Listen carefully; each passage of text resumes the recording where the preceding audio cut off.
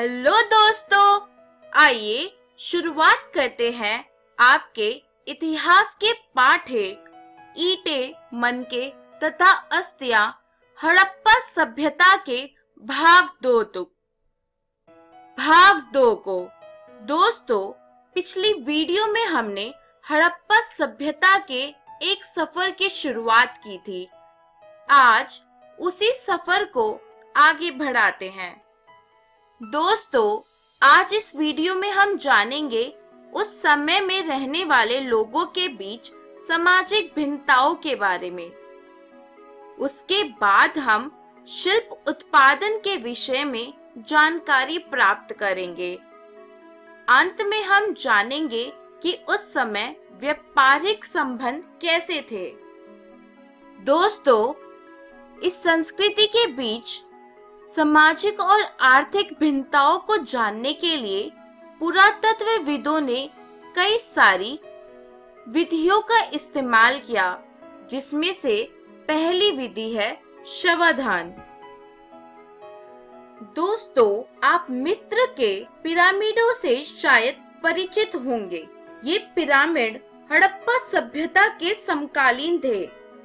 दोस्तों, इनमें से कई पिरामिड राजकीय शवाधान थे, जहाँ बहुत सी मात्रा में धन व संपत्ति पाई गई है। दोस्तों, हड़प्पा स्थलों में मिले शवाधानों में आमतौर पर मृतकों को गड्ढों में दफनाया जाता था। कभी कभी शवाधान गर्त की बनावट एक दूसरे से भिन्न होती थी। कुछ स्थानों पर गर्त की सतहों पर ईटों की चिकनाई की गई थी और कई जगह पर सिर्फ़ मिट्टी में ही लोगों को दफनाया गया था। दोस्तों, ये विविधताएँ सामाजिक भिन्नताओं को दर्शाती है। दोस्तों, कुछ कब्रों में मृद भांड तथा आभूषण मिले हैं। जो एक ऐसी मान्यता की ओर संकेत करते हैं कि इन वस्तुओं का प्रयोग मरणोपरांत भी किया जा सकता है। दोस्तों, महिला और पुरुष दोनों की ही कब्रों से आभूषण प्राप्त हुए हैं। इसका अर्थ यह है कि पुरुष भी इस समय पर आभूषण पहना करते थे। दोस्तों कहीं कहीं पर मृतकों को तांबे के दर्पणों के साथ दफनाया गया था। परंतु हम कुल मिलाकर ये कह सकते हैं कि हड़प्पा सभ्यता के निवासियों का मृतकों के साथ बहुमूल्य वस्तुएँ दफनाने में विश्वास नहीं था। दोस्तों, सामाजिक भिन्नताओं को पहचानने की एक अन्य विधि है ऐसी पुरा वस्तुओं का अध्ययन जिन्हें पुरातत्वविद मोटे तौर पर उपयोगी तथा विलास की वस्तुओं में वर्गीकृत करते हैं। दोस्तों पहले वर्ग में रोज़मर्रा में उपयोग में आने वाली वस्तुएँ सम्मिलित हैं, जिन्हें पत्थर तथा मिट्टी जैसे सामान्य पदार्थों से बनाया जाता था। जैसे कि मृत भांड चकिया सुइया तथा झावा।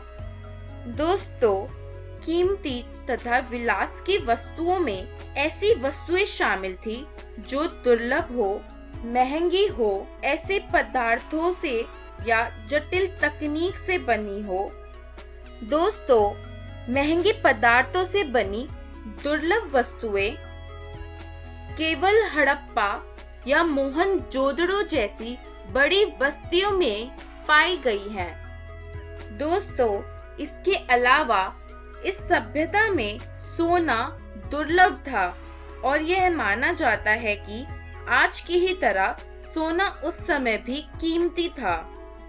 दोस्तों, चलिए अब जानते हैं उस समय के लोगों ने कैसे शिल्प बनाए थे। दोस्तों, इस तस्वीर में पीतल से बनी एक प्रसिद्ध मूर्ति है, जिसका नाम डांसिंग गर्ल है। यह मोहनजोदाड़ो में पाई गई थी। दोस्तों, इस तस्वीर में प्रीस्ट किंग नाम की मूर्ति को दिखाया गया है।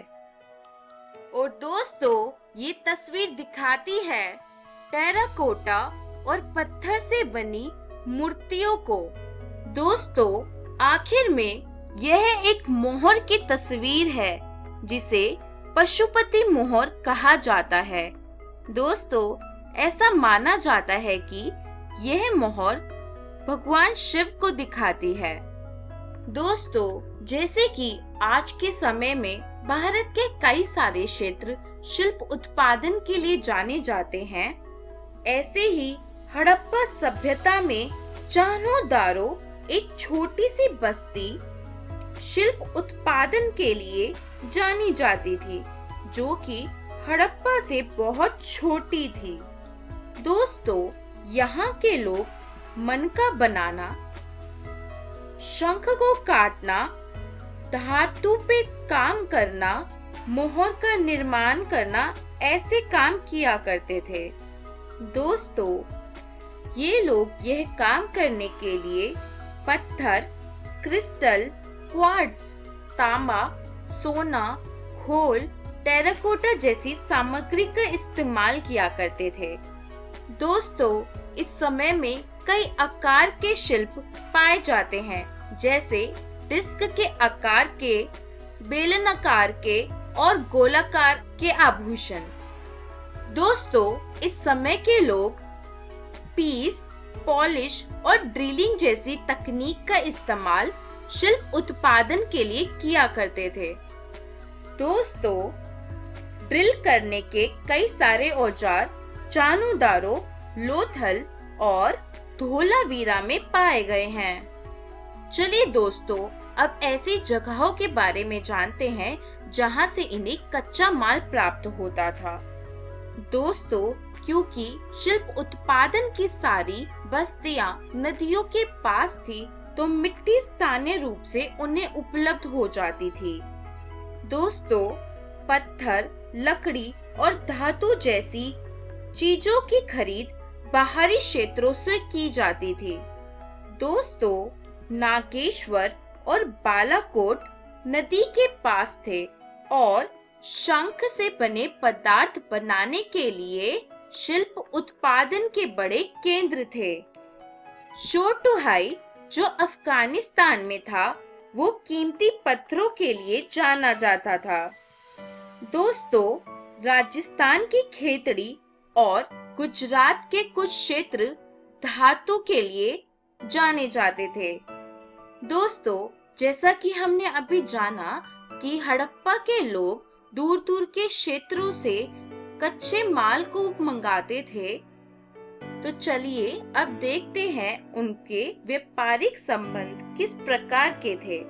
दोस्तों, इस क्षेत्र में व्यापार ज़्यादातर सामग्री धातु, शिल्प आदि के व्यापार के लिए होता था।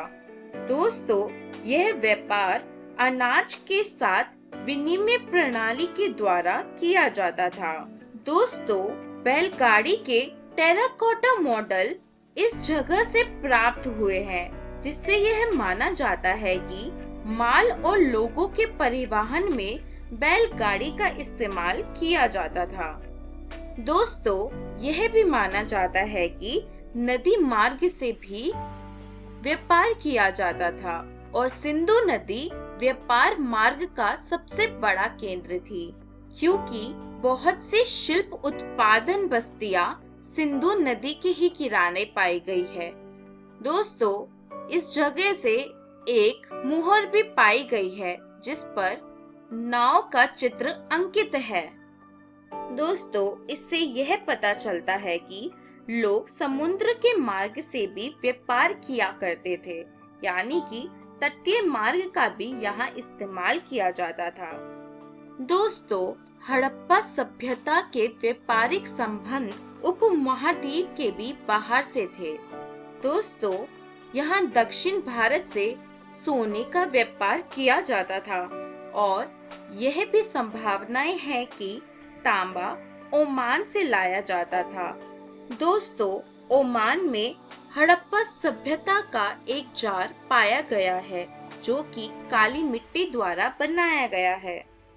दोस्तों, मेसोपोटामिया के स्थलों पर हड़प्पा की मोहरे, तोल, पासा, माला, मनके आदि मिले हैं, जिनसे यह पता चलता है कि मेसोपोटामिया के साथ भी हड़प्पा के व्यापारिक संबंध थे।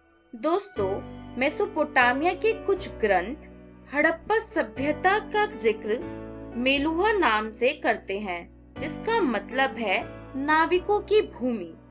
दोस्तों, आज इस वीडियो में हमने हड़प्पा सभ्यता में पाए जाने वाले सामाजिक भिन्नताओं का अवलोकन किया। हमने हड़प्पा सभ्यता के शिल्प उत्पादन के बारे में जाना और वहाँ के व्यापारिक संबंध को भी जाना दोस्तों, मैं आशा करती हूँ आपको ये वीडियो लेक्चर समझ आया होगा इसे और अच्छे से जानने और समझने के लिए अपनी पाठ्य पुस्तक भारतीय इतिहास के कुछ विषय भाग एक से इस पाठ को ज़रूर पढ़ें। दोस्तों, अगली वीडियो में हम हड़प्पा सभ्यता की मुहर लिपि और वज़न के बारे में जानेंगे, उसके बाद हम प्राचीन प्राधिकरण को समझेंगे और अंत में हड़प्पा सभ्यता के पतन या अंत के बारे में जानेंगे।